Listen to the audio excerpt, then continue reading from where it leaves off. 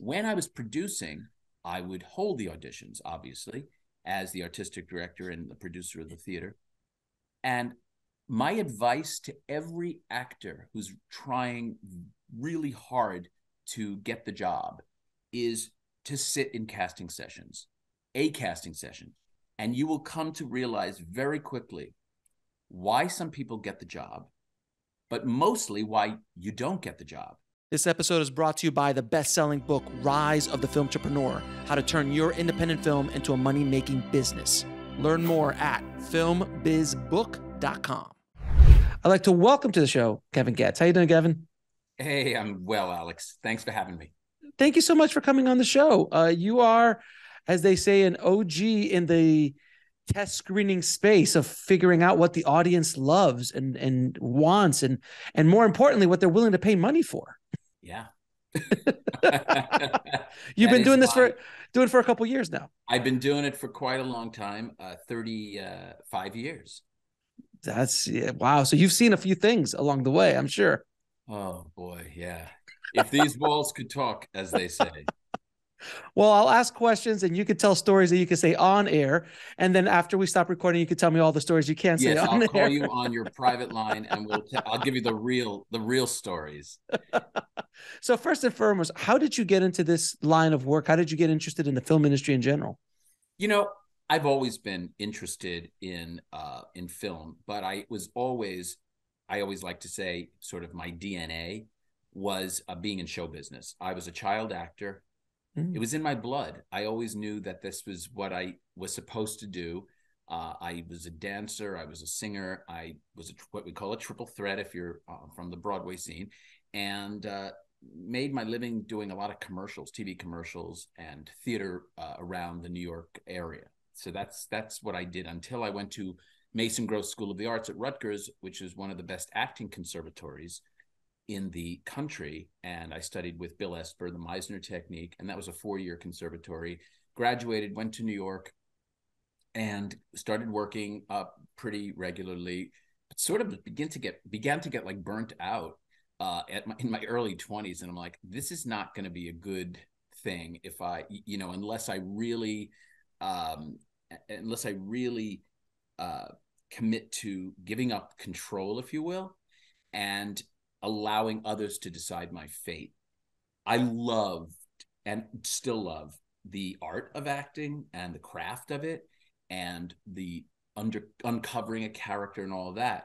But what I found was I had a business sense on the other side of my brain that needed to be nurtured. So when I was 17, I started my first business.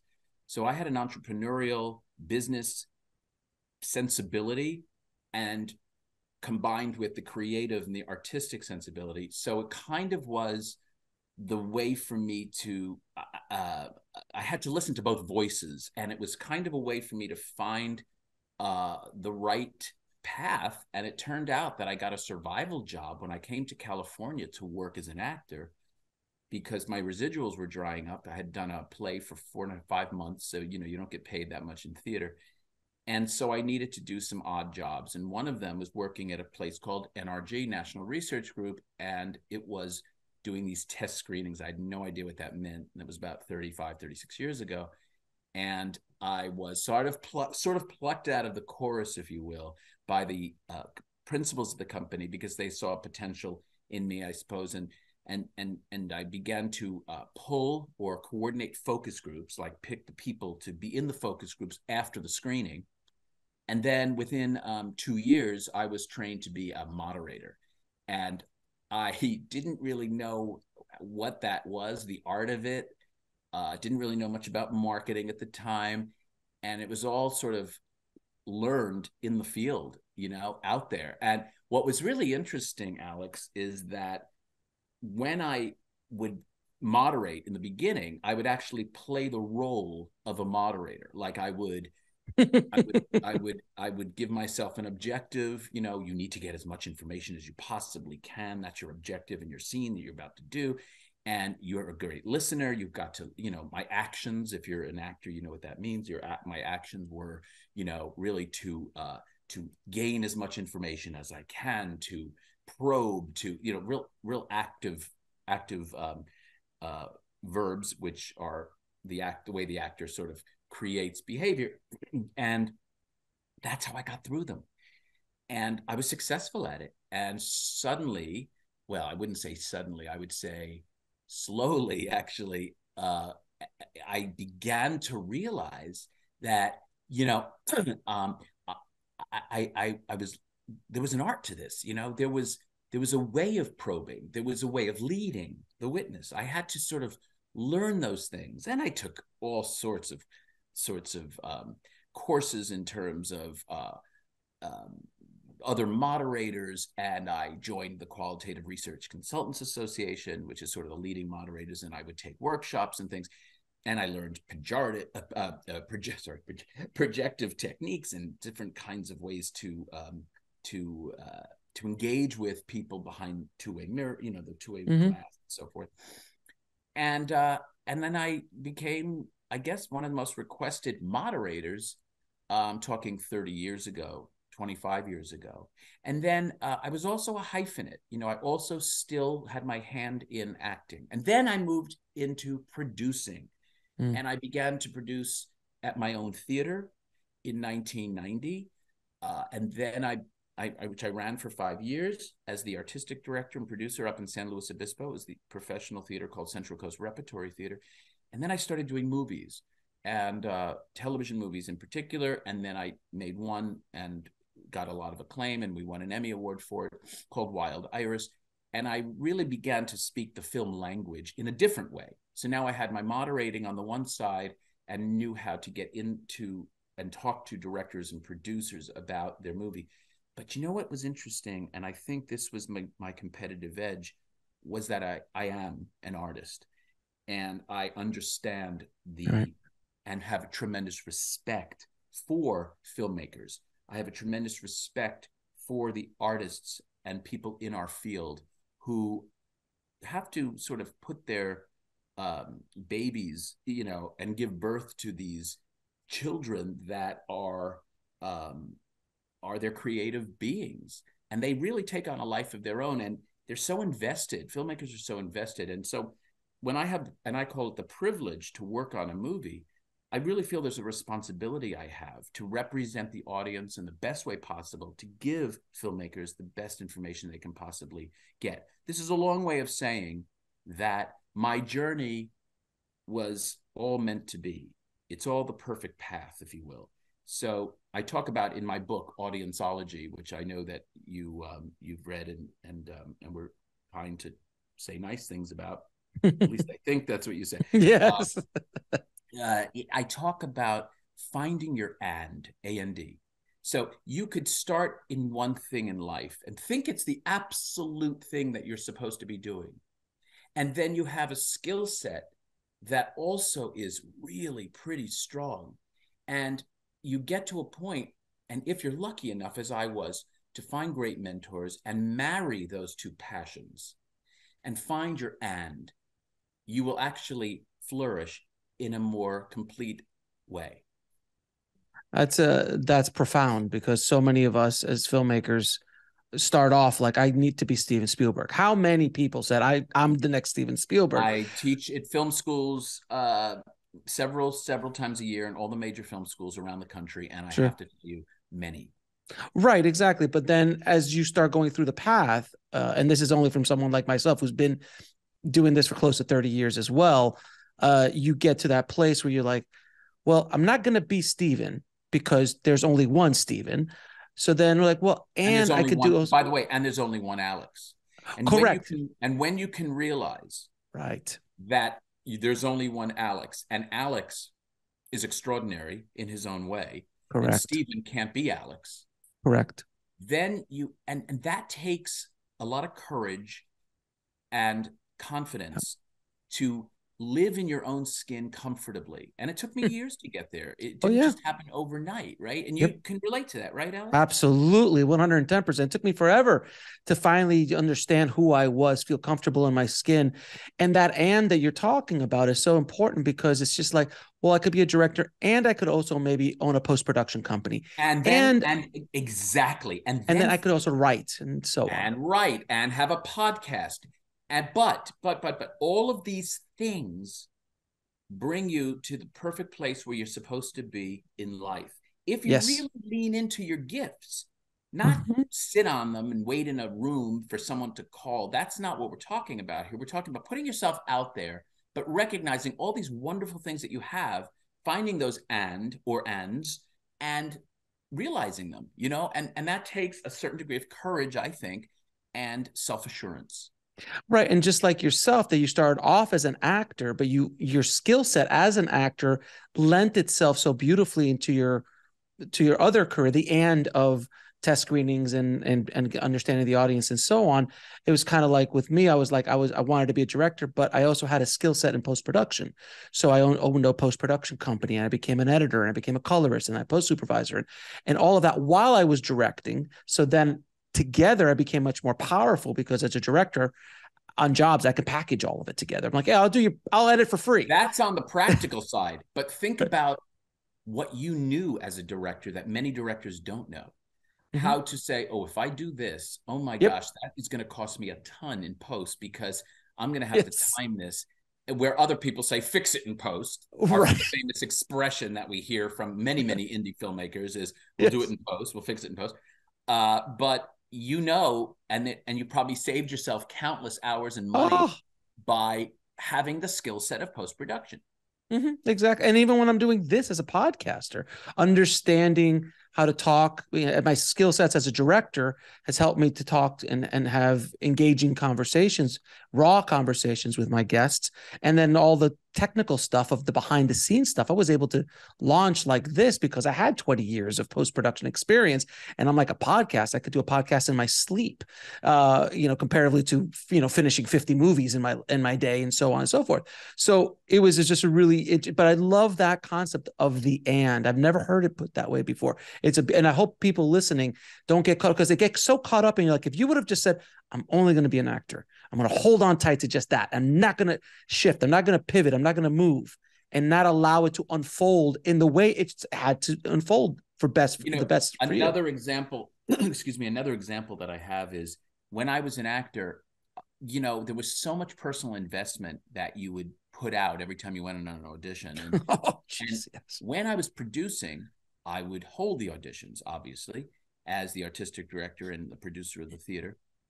And my advice to every actor who's trying really hard to get the job is to sit in casting sessions, a casting session, and you will come to realize very quickly why some people get the job, but mostly why you don't get the job. And so much of it is not something that you're doing. You may give the best reading, but somebody is a the already cast as a redhead, and the kid is a really dark haired child, and so you realize that that doesn't go with the redhead, and you- you're already committed to the redhead. So you know you got to then just so all of those things that if you actually understood the process would make you more effective. And that goes for anything as you were saying. In your case it was po- post production in my case you know it was it was entrepreneurship like really leaning into that and saying hey you're you're good at this. You're good at business you know? Uh, I, as I run a research company, and one of my uh, probably least uh, strong skills is statistics. Mm. I've learned how to get by, how to speak about means and mediums, all that stuff. But I have great statisticians that I hire that make me look really good. Uh, I know my deficits, and that's another superpower: is to know what you're not good at and Mhm. not be it's not modesty or immodesty it's it's just like know what you're not good at and then uh kind of acknowledge it and try to fix it with somebody else or some other person's gift or superpower it's not going to be yours there's so many things i recognize that i do well and there's so many other things i realize that i'm subpar i just am and I don't pathologize it. I simply recognize it and say I'm going to fill those those uh, holes. but you are also comfortable in your own skin and that's when you're comfortable in your own skin the ego is a little bit more tamed when it comes to that, hopefully, where you can identify those things and go, like, I, I can't stand audio. St- I, to this day, still can't deal with audio. I'm a visual guy.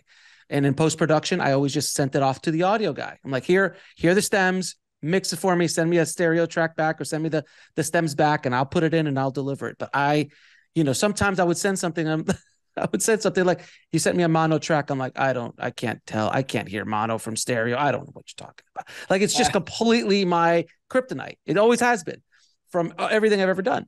But I understood that, and I, you know, didn't try to do it myself. I I outsourced it. I understood that that's definitely You not. know, I always loved things. when I made movies. I always loved the mixes. Um, Oh yeah, Uh, I love being in the mixes. I just don't like doing them. Oh, gotcha, gotcha. But I always love the mixes because I I I always uh, loved sort of um, understanding how much you can really Oh, in that post production process. Yeah. And in fact, screenings are really a part of the post production process, particularly with the studios. But we work on more independent movies than probably studio movies in our total arsenal every year. Just there's so many more movies that are people don't even know about. There's three movies opening this weekend, and you know I'd like to know how many of your listeners even you know know what they are. Uh, they probably don't know any movie coming out on their radar except Ant Man, which is in like you know three three four weeks. Right. Uh, there's a there's a reason that you know uh, that the screenings have become so important in that post production process because they do inform often you know the the word of mouth um, Right. of of how your movie is going to really perform in the marketplace so it's it's a very important measure to understand before you know you embark on you know the release So let me ask you, because I'm, I'm going to play devil's advocate here, because I'm assuming there's some filmmakers out there going, well, why do we care about the audience? This is art. I am an artist. An artist, you know, you don't paint lilies. Van Gogh didn't paint lilies for an art for for the audience. He built he painted it for himself. So uh, to be the devil's advocate, why should filmmakers care about what the audience thinks in today's world? Understanding that if it's an independent film versus a studio, studio two hundred million dollars, hundred million dollars, big things at stake. Get that. But as far as the indie world is concerned, why should they care? well that's saying that a steven spielberg or a whatever studio is not an artist Exactly. number one Right. who all test their movies. All the greats test their movies and have throughout moviedom. In other words, Mhm. since the beginning of movies, Charlie Chaplin, Buster Keaton, Harold Lloyd all took their sequences up to Hollywood Boulevard and tested them. Great filmmakers throughout history, great moguls, etc., tested their movies, and that has not changed. Uh, I find uh, a person that doesn't do that is doesn't have a respect for the art form. Uh, Mm. The art form is not a painting. It's not a novel. It is not a singular vision. It is takes many craftspeople and artists to to to um, to put to make a movie, Correct. and and uh, I told Ang Lee and I had a, a, a bit of a an exchange. It's in the book, uh, my book, where uh, you know he said you know Picasso never tested his paintings, and I said Picasso's supplies cost about five cents, It's true. And if he didn't like what he did, he could put it in the back of his closet. But you've just been handed a hundred million dollars to make your movie by people who absolutely have a stake in this, financial stake and creative stake. I mean, the you know, a studio studio executives are not some empty suits. They're awfully talented people, many of whom were filmmakers, many of whom come from a very serious development background and they have lived and experienced you know how to structure a movie and the successes the failures etc um, all throughout their lives. And to not include them um, as part of the process is is disrespectful i i believe. Not to mention the fact that there are great you know cinematographers that have really been the star of many movies that I've worked on and have saved many movies, or the editors, as you well know. An editor can be so impactful and can help or hurt a movie you know, tremendously. Uh, you know, I, I have a podcast. It's called "Don't Kill the Messenger," and and I just interviewed two editors, and I wanted the editors on there.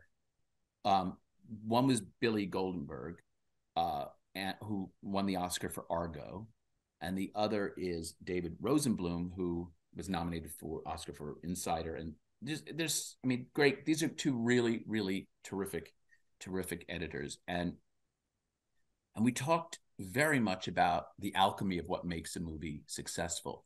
So if, and I want to qualify this, if a director has raised their own money, is wrote the movie, uh, is producing it and directing it, and is what we used to call the auteur, true auteur.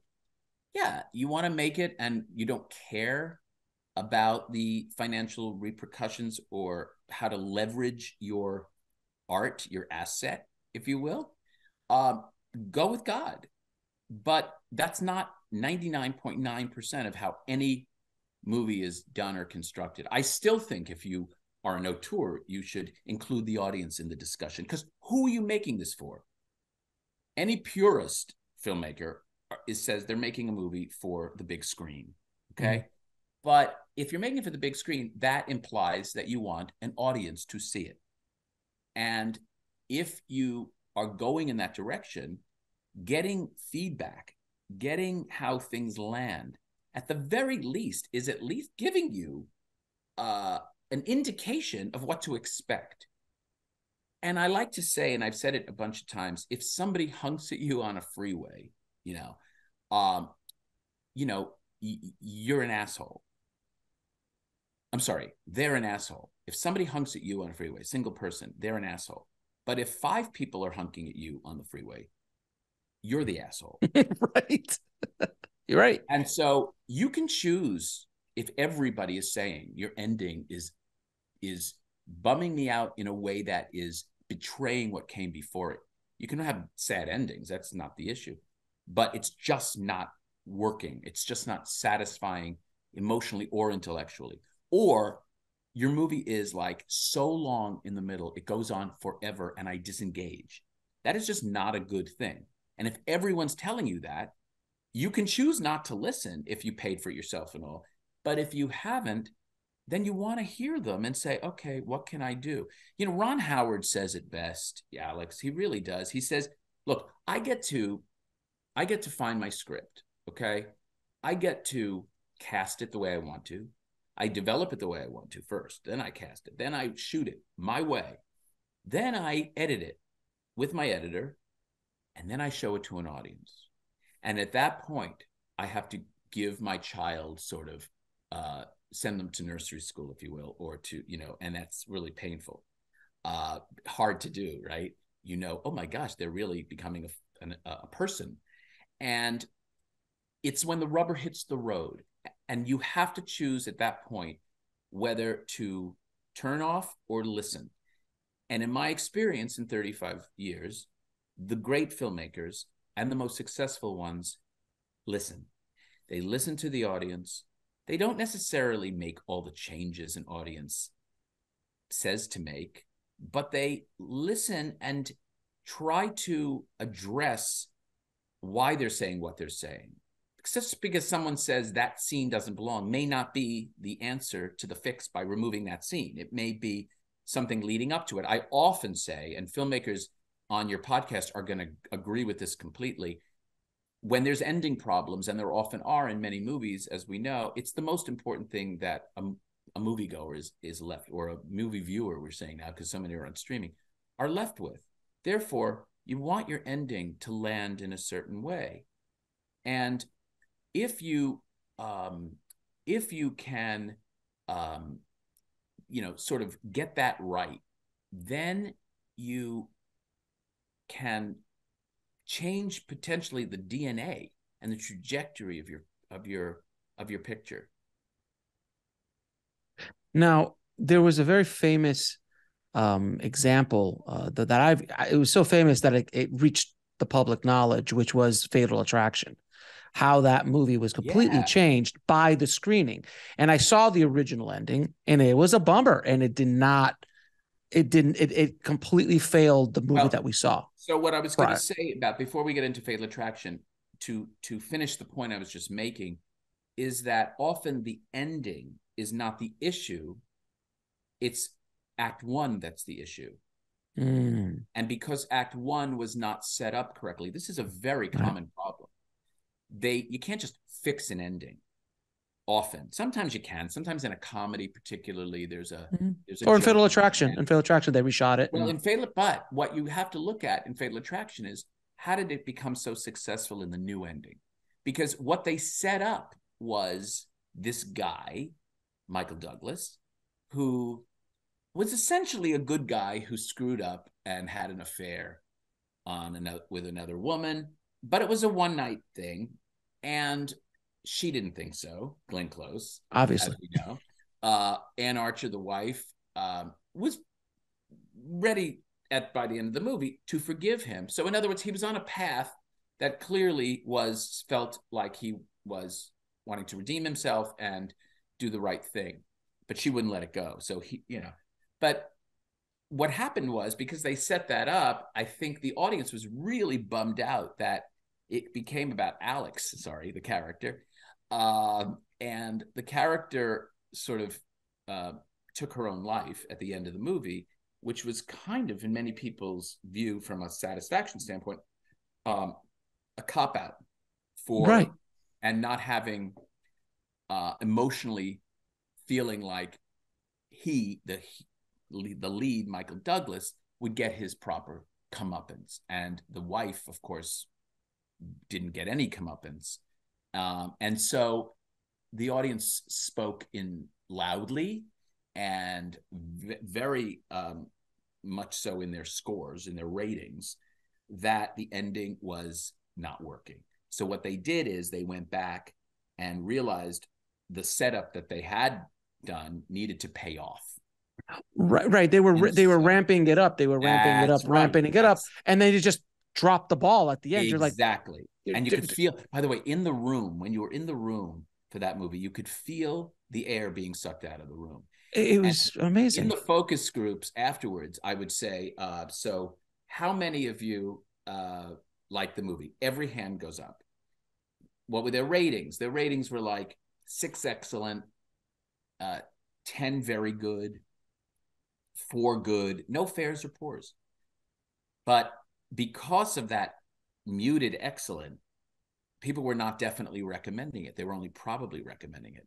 So there is a correlation between the definite recommend and how well your movie's multiple is going opening weekend multiple is going to be, right? So in other words, if your movie opens to 10 million and you do a three times multiple, that means you've done 30 million or will do 30 million at the box office. So there's a correlation between that word of mouth and the box office multiple.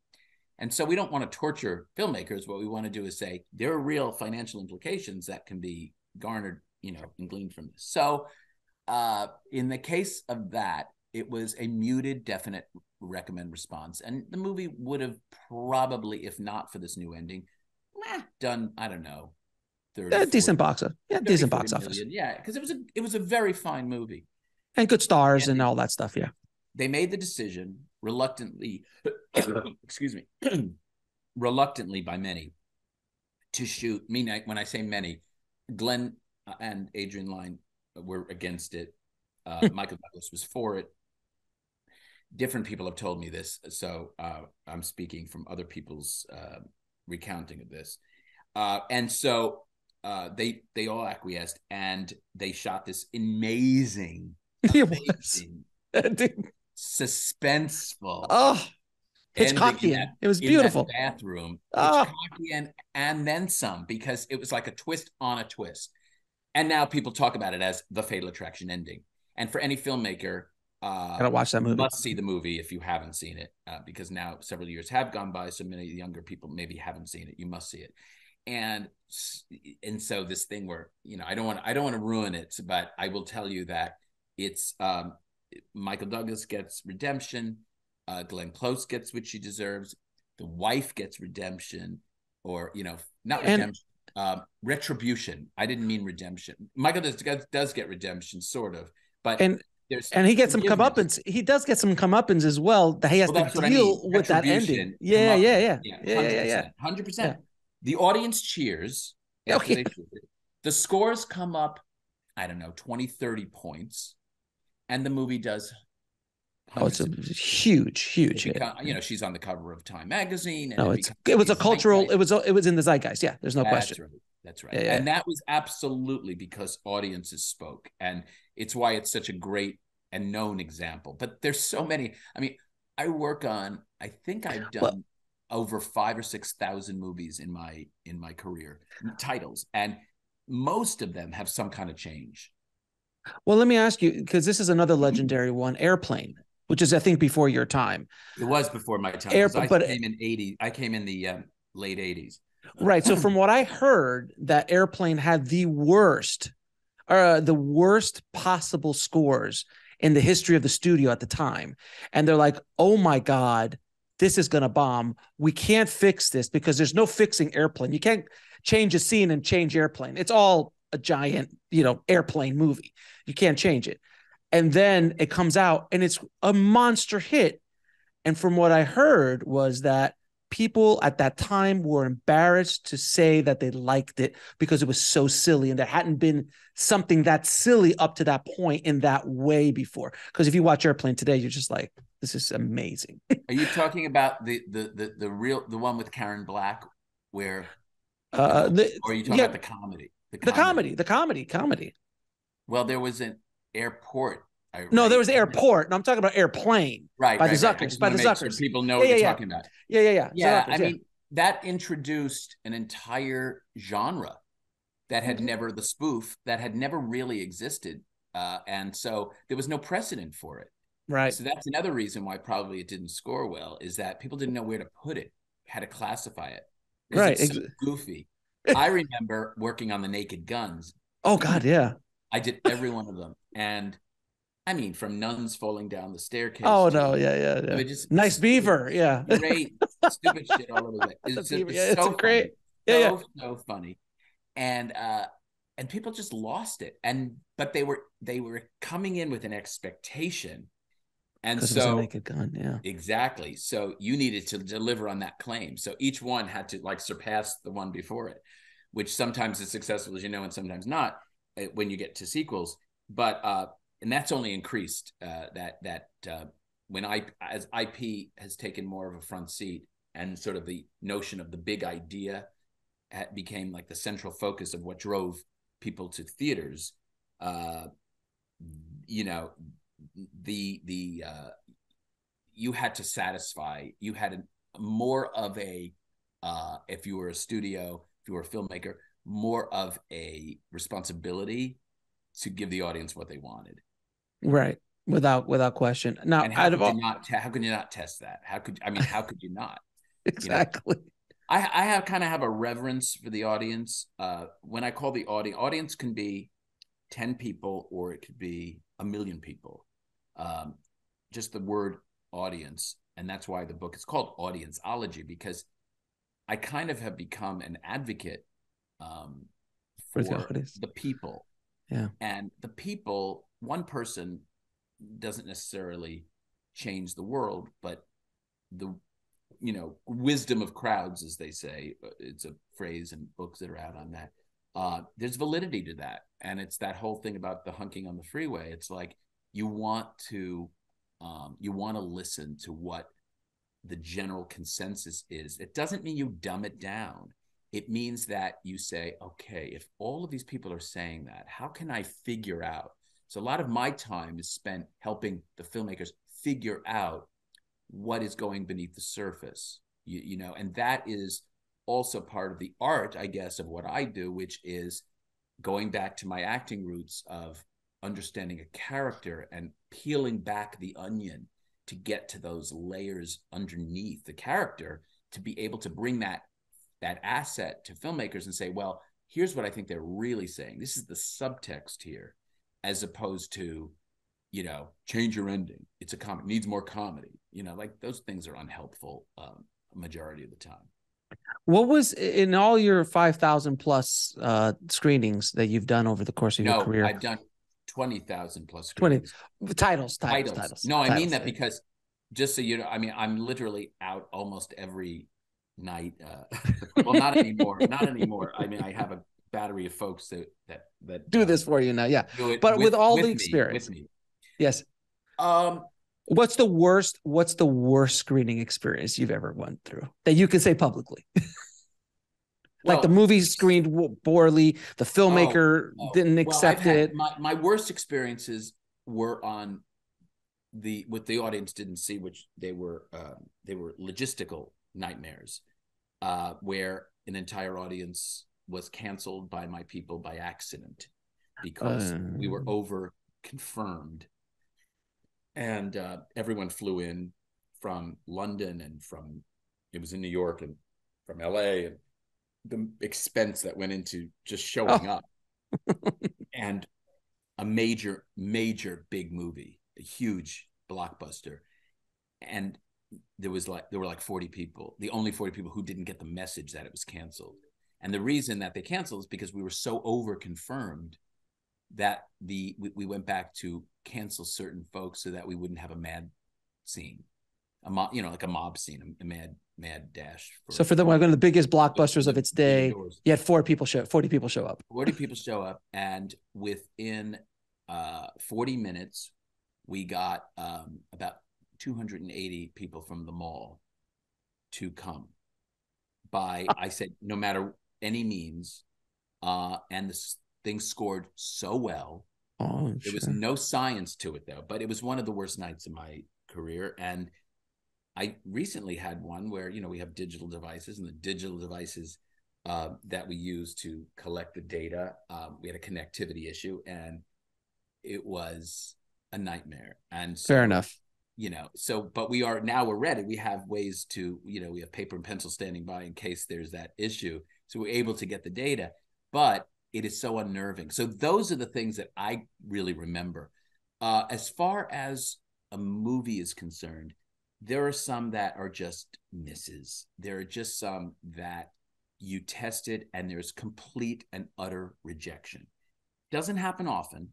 It never happens with a studio. Uh, it's just wouldn't happen anymore with the studio because the stakes are so high and so many people have touched it it's never a unmitigated disaster. These are usually independent movies uh, that just, for whatever reason, um, were not executed well, and and had marketing assets that just were like non-existent. You know, because there was nothing to hang your hat on. So you had not no marketability and you had no playability, and so what do you say? You come out and you just say, you know, you and you know they spent way too much on the movie, so you're like, Sorry. those are those are really tough because you feel for these people, and you know Sure. some- somebody is going to be losing a lot of money, and the director, if they didn't invest their own money, will have reputational damage, and it's it's just a bummer. Well, well, it was it was kind of like that movie Batgirl that Warner Brothers shelved recently. Like I've never heard of that before. yeah, I know. How I- I how to say- bad is that movie that they can't just dump it on HBO Max? Like I don't get that. Well, you know, um, well, uh, I don't know the particulars of that, but if I were a guessing man, I didn't work on that uh, Uh-huh. particular movie. Another a company did, but uh, my guess is, first of all, I heard that it wasn't that bad. Number one, How bad can it be? Like you what? they've how bad they've released Showgirls. They've released so many. Oh, I know, I know, but- over the years. but you have to also. What I would be asking myself is, is it damaging political. the brand? Uh, Oh. by uh, their most important asset, one of their five most important assets in the arsenal, the Is Batman. Does it hurt the brand? Does it hurt DC? Uh, that's an, an issue that I can't really speak about. But, But they released Cat, but they released Catwoman for God's sakes. I know, but how many years ago was that? That was a while ago. Yeah, the Batman wasn't as No, big of a DC wasn't DC then. So no, can't- no. you can't right. compare the two. Uh, look, uh, I'm about fixing things. I would take a different approach.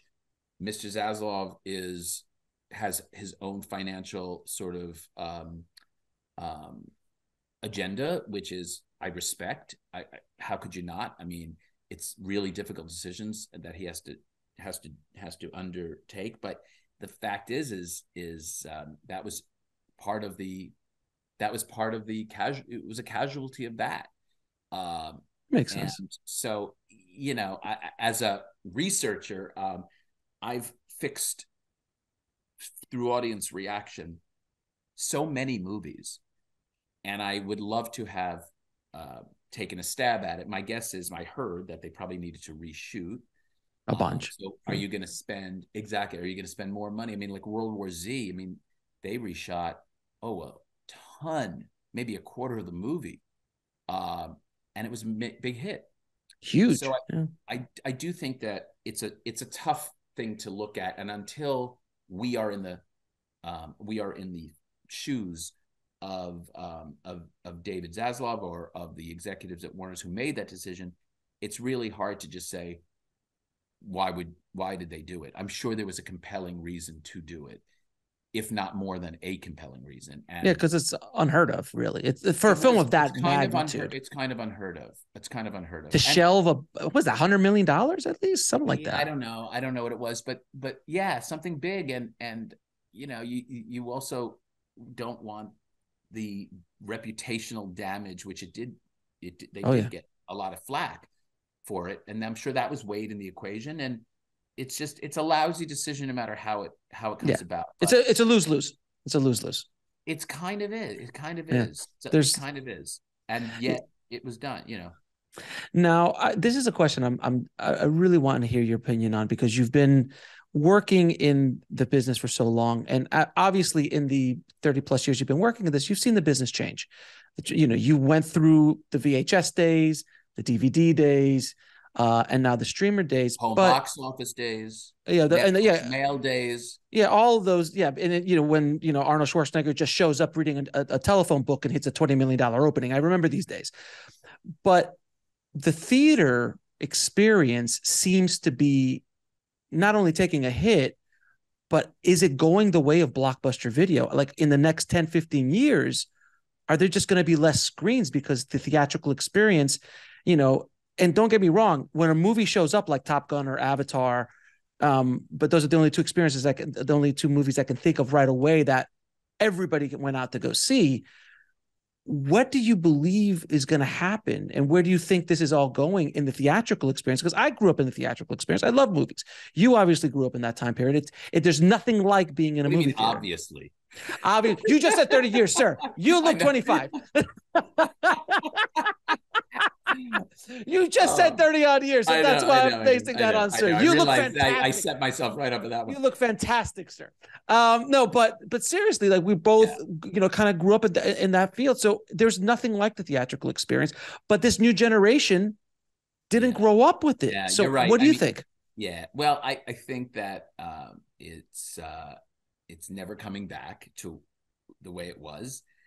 Uh, and I just think it's not an indictment on movies. It's not an indictment on the particular movie uh, necessarily. I'll explain that in a minute. Uh, it's more of an indictment, if you will, on consumer behavior and new generations uh, with the replacement of of movies as a prime source of entertainment with television and gaming with social media and short form entertainment, Gen Zs are really, and half of millennials are really, uh, I wouldn't say rejecting the theatrical experience. They just don't care about it in the same way that you and I did because we had, there was a nostalgic quality to it. There was a romanticism. There's something about being in a theater that excites us because mm-hmm. we grew up with it. So we have different memories and so forth. The younger generation just doesn't feel that. So as people age out and age up, there's going to be less attendance uh, in terms of a wide variety of movies in a theater. Three things happened that have never occurred at the same time, right? Which is this notion of choice, so much choice the notion of price. The price is just too damn expensive to not be selective about what you're going to see. And convenience. you know, it takes what about 40 minutes on average. I think it's 38, 40 minutes to decide what movie and get in a car to go to. Like that's the average, as opposed to like 16 or 17 minutes to choose a movie through streaming uh, and and and and be at home. You can buy five or six streaming services for the cost of a family of four going to one movie with concessions and parking, etc. Uh, you can't compare the the, the the the the value proposition. However, people still like going to the movies. They also like um, going out of the house occasionally. Occasionally, but movies will become more of a product of like a show or a concert. And what that means is an experience. So if you don't have a movie that has some kind of experiential um, component to it, uh, elevated fun, elevated fun, elevated. That means a horror movie that is oh, it's just really kick ass. A Yeah. comedy that still comedies have not really come back no. uh, and I'm not sure they they will they will there will be a comedy that just does so well. You know how remember Like Crazy- there's something about Crazy- Mary like a or- Crazy Rich Asians. Remember how that snuck in? That- that snuck in, but that was pre-pandemic too. So that's the other thing too. I understand that. I understand that, but no one expected it to do the blockbuster business. There will be one because there's always one. There's one like like just when everyone said romantic comedies are dead, you know, Ticket to Paradise comes in and sort of works. And then uh just when they said dramas are dead, you know, Man Called Otto comes in and, and works. But it doesn't work that I- well.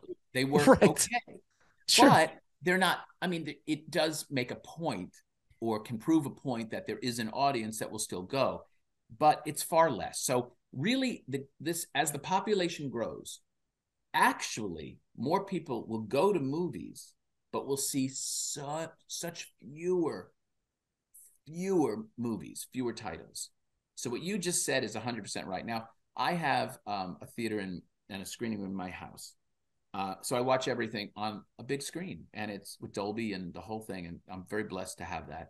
Uh, so I never need to go to a theater, and I spend my, my life working on movies in theaters. Uh, but I left my house to see Avatar in IMAX Because- of course. Of course. and I I, did too. left my house to see Top Gun. Yes, I, can't did too. believe you chose. I did not leave my house for anything else. You and me are the exact same. It's the only two movies I've seen I in a theater, other than maybe press screenings or something like that. No, but- no, I'm not talking about work. No, no, that's different. Because I went, I, I just saw Man from Otto and things like that, but theatrically. But for me to get out, go pay tickets, it was Top Gun because I was like, I have to go see Top Gun That's right. because it's an experience. And I go, it's Avatar because it's Avatar and I it's James Cameron. Impossible in a theater. I will probably see Mission Impossible I'll 2 in the probably theater. see Oppenheimer in a theater, You know, you're absolutely right. That's probably another. But again, these are even ex- though it's a drama, quote unquote. But it's- but I it's Nolan. trailer, and I was it's like, Nolan. It's Nolan. It's Christopher Nolan. It's, It's going to be theatrical. It's going to be an experience. But the Fabelmans, I'm not going to go see that in the theaters. I want to see it, and it's I, I I'm looking and forward to it. wonderful. I'm looking forward to it. You know what's so interesting? Um, there's a great filmmaker, um, and I'm not being cheeky. I really don't remember. Uh, uh, when I say great filmmaker, a very popular filmmaker, a Mm-hmm. very well uh, well known filmmaker, and but I forgot that which one it is. But said this quote, which is my favorite movie of all time is Jaws, and I Mhm. have never seen it in a movie theater. Isn't that Wow. I've So, I've never seen this, Jaws in the movie theater. Yeah, of this notion of you have to see things in a movie theater is just not the case. And and if it were the case the academy of which i'm a member would you know make it mandatory that people have to see movies in a theater. It's just unrealistic and it's just not true.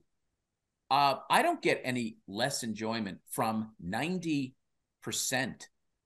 of most movies because i've seen them on a big screen. Uh, forget my screening room, but I'm talking about like a big screen of any of us have with Yeah, flat and I- screen. yeah, well, just having a 72 inch. It's an and you have a lot of people, a lot of my friends have these sound packages that are really cool in their rooms ridiculous. that yeah. are surround sound, etc. And they and they really emulate the experience. And many theaters have gone the wrong direction in a way and have tried to emulate the living room as a way to ingratiate the consumer and bring them in. So they have these great reclining seats, and the screens have gotten smaller. You're right. So it's like as the theaters have condensed their the experience to make it more elite or you know like food service and all, and homes have gotten bigger and will get bigger. You know, the Consumer Electronics Show shows walls of screen, like uh, walls of screen in your home. It, it will end up being a feature like marble floors and granite countertops. No, it's like it's it's, it's Total Recall. Like Total Recall had that. Like they just turned. The, but I'm saying yeah. I would say exactly. But I would say you'll be you'll say I'll like I'd like the full screen in the game rec room or the den, uh, and the sound package uh, as well. Also in the master. So you're gonna have like a wall screen, and it'll be part of the feature of the built-ins. Built-ins. Mm-hmm. You know what I mean? So this is going to happen. Um, so everything um, points to there's going to be a con- there has to be condensing uh, reduction of screens. I mean, Regal just filed for bankruptcy, as you know. Um, they're closing one of my favorite theaters in Los Angeles, which is Sherman Oaks. They're um, closing Sherman. Yeah. Wow. Were you in LA? Yeah, I've been. I was in LA for 13 years yeah, so this is that's my theater that I go to, um, or Burbank. Uh, that's an AMC. Yeah, the Burbank. I, I lived in Burbank, so that was my AMC. Was the yeah, Burbank. yeah, and they always my, had the test screening guys out front. Always. Oh well, we do. I'm there probably once a week. I think every, every of, always, always, you know, like every second, time we a second home, uh, like a like I own a second home in Burbank at the theater. Uh, no, I'm, I'm, there a lot, and uh, it's just a, it's a lot of people like it. It's a it's a very good testing um, location because it is ethnically, uh, racially uh, diverse. Mm-hmm. It has a level of sophistication, but also sort of working class folks. You know, I Burbank does that. Regular, regular people, regular people. Burbank do that uh, does that. But and there's a there's also you get a mixture of you know uh, ed- education, which is really nice. So as far as testing, it emulates a lot of pockets in the United States. So it's a good it's a good testing ground. So it's like the block in Orange County or Long Beach. Uh, those are really important uh, in well, the LA area. Well, let me ask you then um, with all this conversation of theatrical, where does that leave you in the work that you do? Do you still do test screenings for things that are going to streaming? And oh, how is yeah. that? How does that work? Well, it speaks to our conversation that we had at the beginning of the podcast, which is people are going to it's important to get your the the opinions of folks, whether it is what the platform agnostic. In other words, it's whether it it is um, in, on a streamer, debuting on a streamer, or debuting in a theater. That word of mouth is going to dictate how uh, how strongly the movie will perform. And streamers want and report now on drops uh, as well. They want to make the best version of itself they possibly can. And when I say the best version, I mean the one that appeals to the widest widest number of folks. And that is a very important determination. So uh, all of the streamers uh, are my clients and even even though say, may I say now my biggest clients and I will say this I also uh-huh. during the pandemic we went into triage mode at Screen Engine ASI, which is my company. We went into triage mode and we we came up with we invented a synchronous that means in real time screening platform for 2 to 300 people that you as a filmmaker can stay in your home and watch people watching your movie at once. So that's where it's gone. And well, a lot of it did go there, but many people still are holding on to this notion of looking at a movie in a theater. So half our business is on the small screen and half our business is still on the big screen. And we've only increased exponentially because as content increases, so does our business. Because as you're saying, and and it's a really good point, just because something is not theatrical is not an indictment on your movie, yet you need the same results. You need strong word of mouth you want to have good critics ratings. You want to have audience scores so that your subscribers, if it's a streamer, are satisfied. Like these are important things to know and understand. And unless you engage with the audience, how the hell are you going to know that?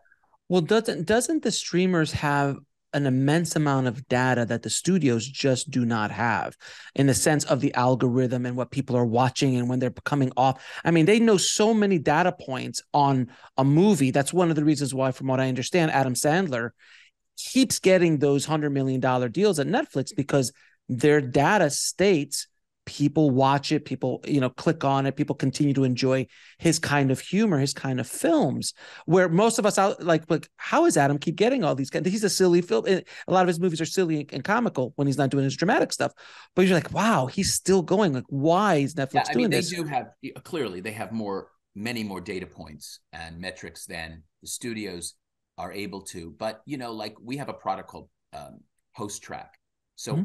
every week Screen Engine ASI is in partnership with ComScore, and um, it's the exit poll currency. Everyone subscribes to the product, and we gauge uh, reaction to studio movies and who actually showed up.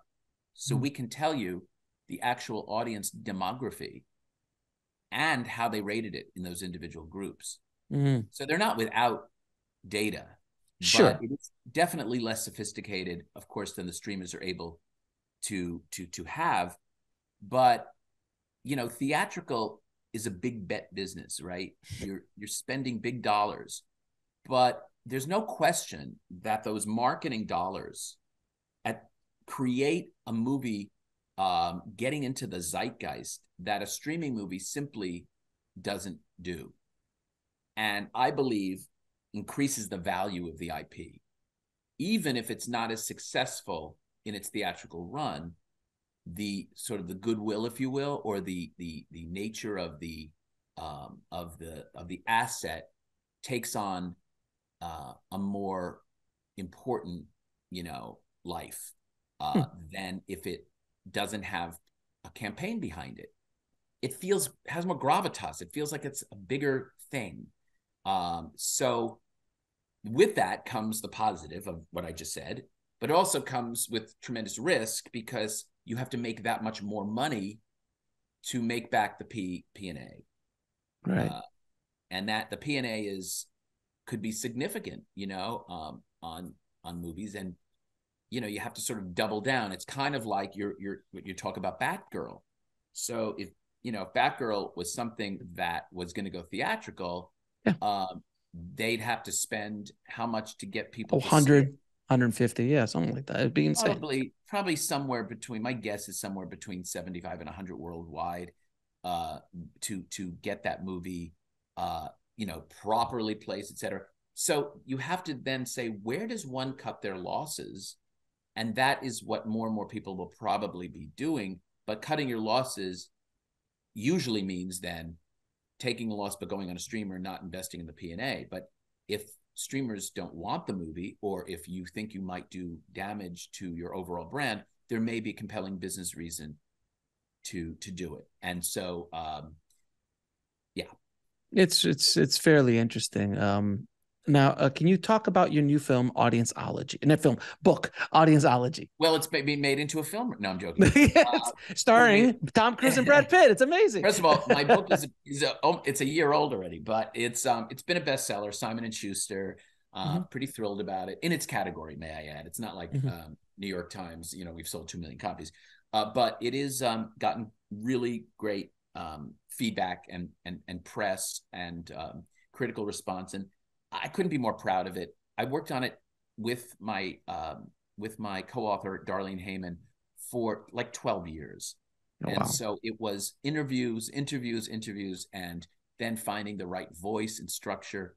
And uh, and because it was as successful as it it has been, and it's now in paperback, uh, Simon and Schuster gave me a second book, which I'm writing right now with my co-author Bob Levin, and that is called How to Score in Hollywood. And that book is about, great title. Thank you so much.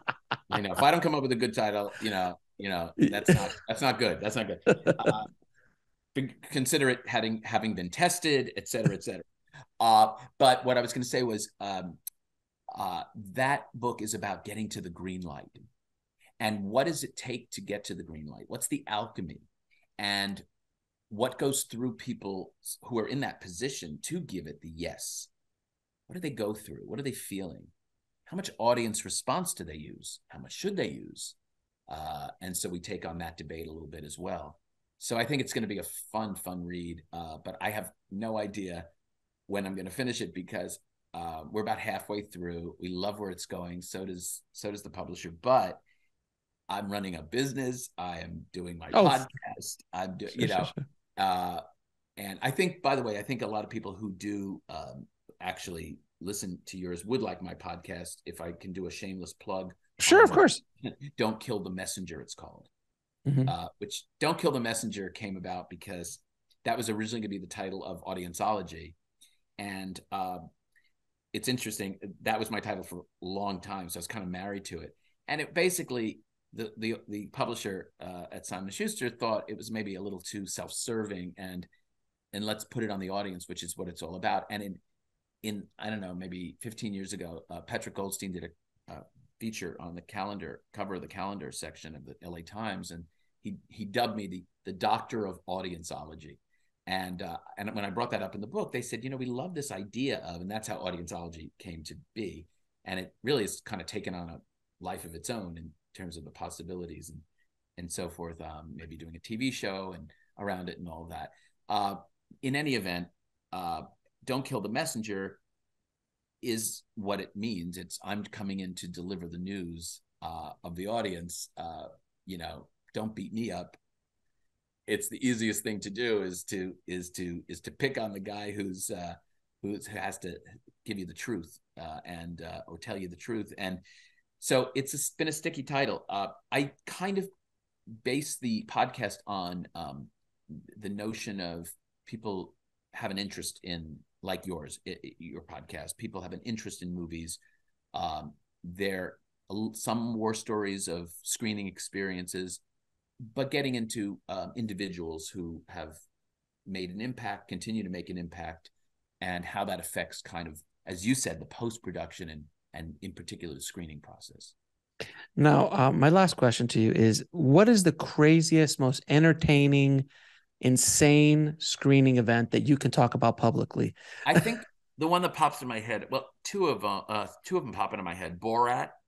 Oh my God! What was the Borat like? The Jesus. original Borat, the original Borat screening, which was in Marina Del Rey. Remember, no one oh. really. Some people knew the Ali G character. Yeah, but, but no, like, he, yeah, they didn't yeah. know Sacha Baron Cohen. Really, he he did this movie. It was no one ever saw anything like it, and people were pissing in their pants. I don't know how else to say it. I mean, I, was, doing, I died. You know, the wave, like the wave they do at ball games. They were doing that. One guy got up from he was sitting like in the fifth row to the screen.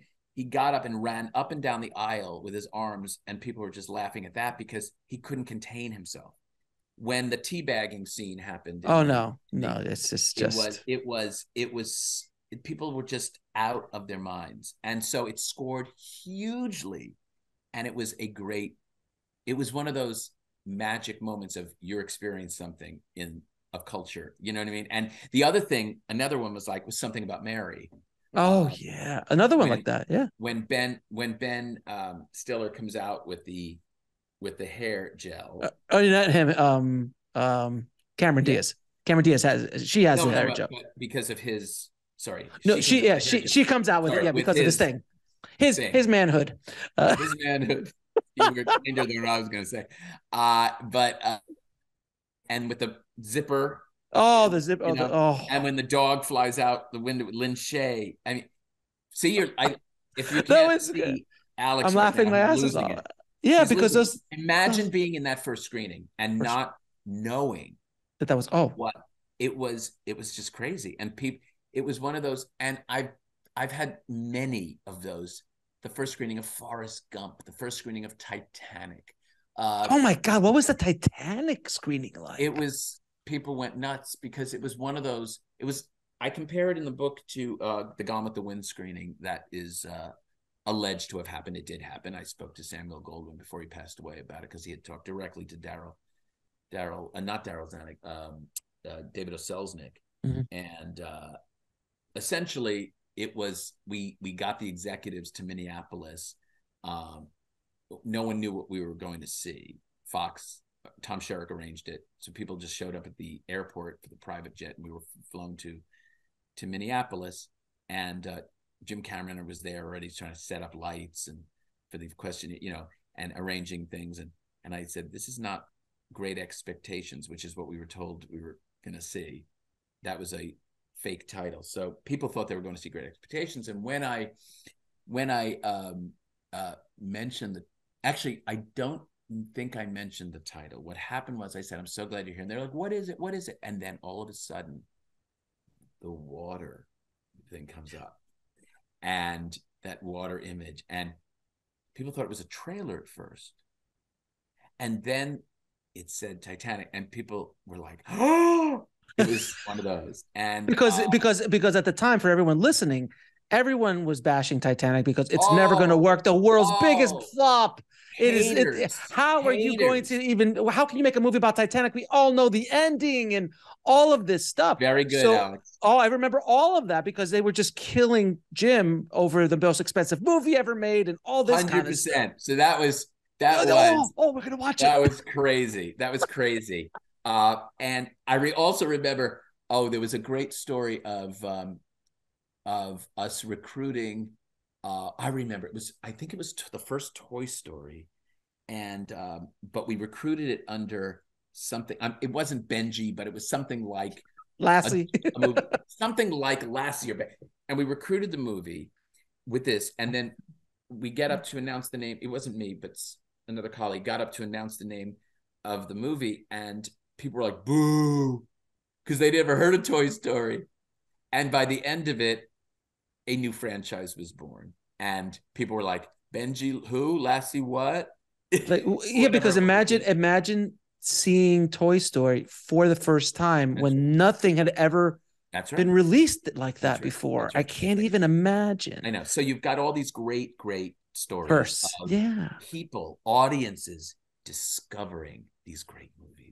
Magic. and i think and you were saying that there's going to be a comedy that's going to break through again something like borat if anyone has the balls to make a film like because i remember watching blazing saddles it, it- when i when i was working at the video store when i was a young man I worked in And- a video store. That's I where work- I. That's, that's where, where- I. Uh, in five years five years mom, mom and pop in florida uh My mom mom and pop was in um, New York City, and um, I was the weekend manager.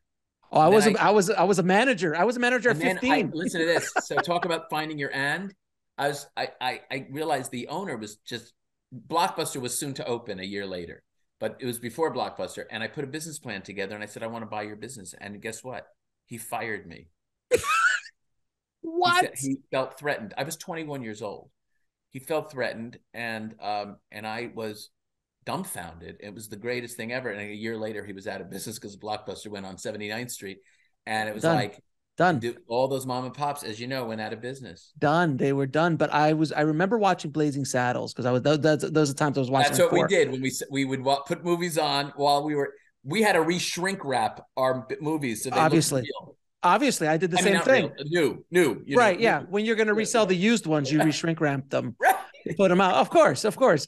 Uh, yeah, I used to play Nintendo in the back and watch movies up front. So I'm watching Blazing Saddles. And I and went it- to the X-rated section here and there. I didn't. Not gonna the- lie. Our city did not allow pornography. Oh, Florida. So it was that area of there was like a couple couple what counties over. What area? Fort Lauderdale. Fort Lauderdale for Oh, whatever really? reason. That's more aggressive than a lot of. Uh, it did not allow it, but like Hey.